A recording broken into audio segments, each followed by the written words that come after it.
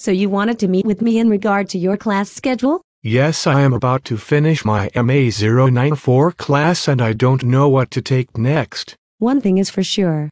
You don't want to take a rest of any kind. You need to continue in the math sequence, right away.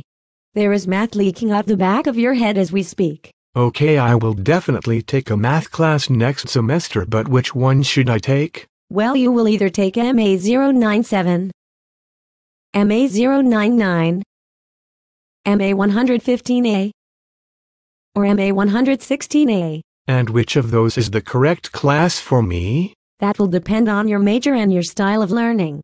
Any major that requires calculus, or certain education majors will require MA099. And what if I don't need calculus or I am not an education major? Then you could take the liberal arts path in mathematics and should go with either MA097, MA115A, or MA116A. MA097 is the three-hour liberal arts version of intermediate algebra and would then be followed by your one required college foundation class.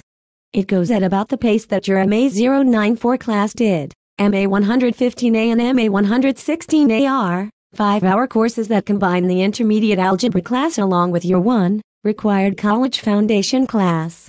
They are both more intense classes but either could serve as the last required math class. What if I am kind of a weak math student? Then you should probably take the MA097 class next since it is not as intense. Thank you.